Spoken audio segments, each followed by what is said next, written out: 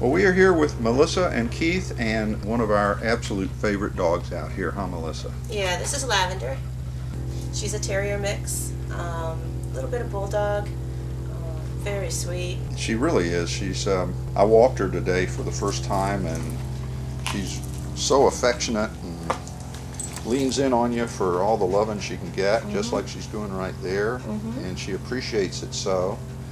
And one of our dog walkers came over to her and was petting her, and as the dog walker was kind of drawn away, she leaned over and gave her one little kiss. And she was so taken by that. And then, by golly, a few minutes later, she did the exact same thing. Mm-hmm. Very, very affectionate, She sweet is. girl. Yeah. And she walks well too. Um, she is interested in other dogs, but uh, she walked very well. She uh, she listens to you. She does what you want her to do. Mm-hmm. She got a pretty teddy bear face. She does. So, what's her story? Uh, she came to us. She was abandoned here at the shelter. Um, they put her over the fence, and when we came in the next morning, um, she was here uh, waiting for us. She greeted us, Uh-huh. and um, we set her up and got her shots and um, scheduled for a spay. And um, She's heartworm negative, I she understand. is. She's heartworm negative. See, she's real affectionate. She's Mhm. just um, Come here, girl. Come here.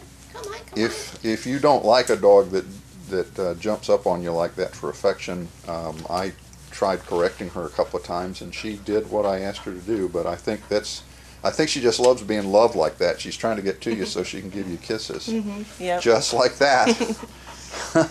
so if you don't like that, I think you can correct it pretty easily, and if you do, like frankly I do, Mhm. then um, you're good to go. Yeah.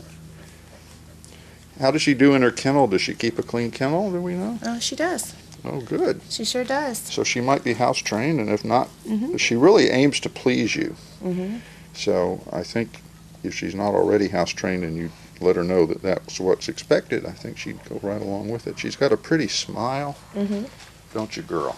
Yes, I do. Pretty brown eyes. Uh-huh, and those pr- brown eyes. Brown eyes and pretty color, like you said. Her name is Lavender. Mm-hmm. Yeah, we named her Lavender.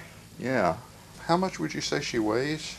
Probably about 45, 50 pounds. Uh huh. So she'd do as a house dog. She'd be a fine house dog, Uh-huh. Yeah, she's just a medium size. Mm Mhm. And really loves people. She does.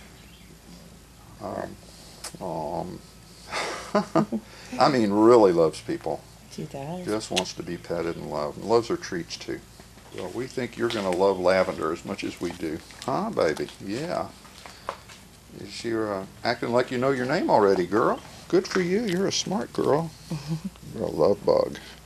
Please come see Lavender at the Nassau Humane Society at 671 Airport Road in Fernandina Beach, which is right across the street from the city airport. She likes to be rubbed behind her ears too. Look at there. Oh, she's liking this. She's got plenty of kisses saved up for you. Please come see our sweet Lavender.